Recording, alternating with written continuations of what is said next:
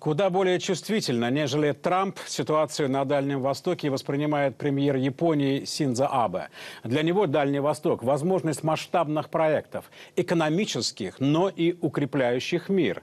Вот, например, в каких образах он рисует Северный морской путь, продлевая его маршрут через северную часть Тихого океана вплоть до Японского моря. 私たちは北半球と Я думаю, мы обязательно создадим в этом огромном уголке северного и восточного полушария оплот мира. Я думаю, это будет прочный оплот, который будет поддерживать и регион, и весь мир. Я думаю, что при этом и Северный Ледовитый океан, и Берингово море, северная часть Тихого океана, Японское море, все эти регионы будут соединены магистральной морской дорогой мира и процветания. Тем временем Россия отправляет на Дальний Восток первую в мире плавучую атомную электростанцию «Академик Ломоносов». Пока на пути из Петербурга она остановилась в Мурманске. Загрузка топливом, а потом на Чукотку. В долгий путь через Северный Ледовитый океан до порта Певек. Там плавучую АЭС соединят с наземной инфраструктурой.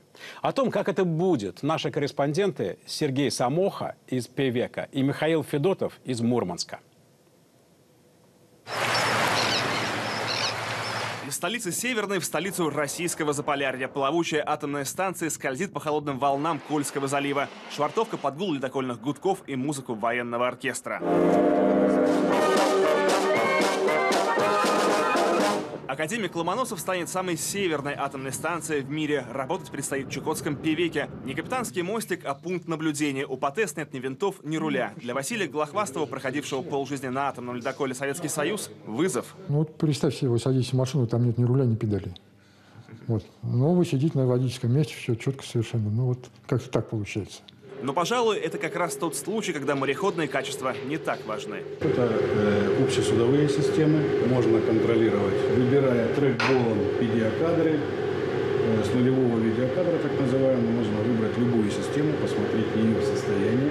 Это центральный пульт управления ПАТЭС, по сути такой же, как и на обычных АЭС, миниатюре. Система безопасности продублирована несколько раз, все штатные и нештатные ситуации отработаны на суше. Если центральный пост управления – это мозг-станция, то это ее сердце, одна из двух реакторных установок. Два реактора способны выдавать 70 мегаватт. Этого достаточно, чтобы осветить и обогреть город с населением 100 тысяч человек. Здесь весь корпус состоит из стали толщиной там, от 32 миллиметров, переборки, которые усилены, а, биозащиты, состоящей из листов металла толщиной 100, 100 миллиметров. А этот отсек построен, чтобы безопасно перегружать ядерное топливо из хранилища в реакторы и обратно. Работать по ТЭС будет автономно. Доковое обслуживание один раз в 12 лет. Вы можете, по сути, эти станции перевести в любое место и дать энергию в любом месте, ничего не строить, убрать, когда вам не надо.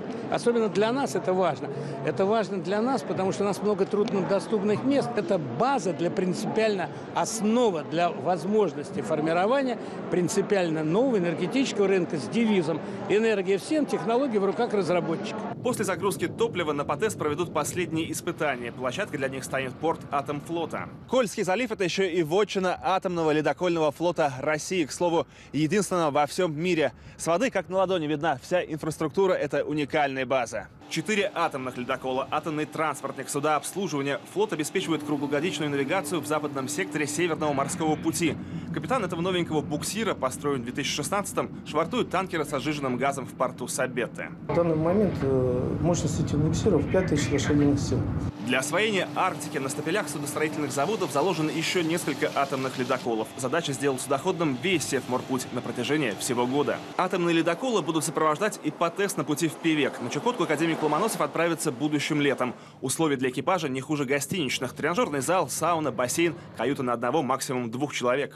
Санузел, душевая, телевизор будет установлен, проводная связь, интернет – Пришвартовавшись в Певеке, Ломоносов заменит Билибинскую АЭС. Работа станции покажет, сколько еще плавучих энергоблоков необходимо стране и миру. Интерес к покупке уже проявляет страны Юго-Восточной Азии и Африки.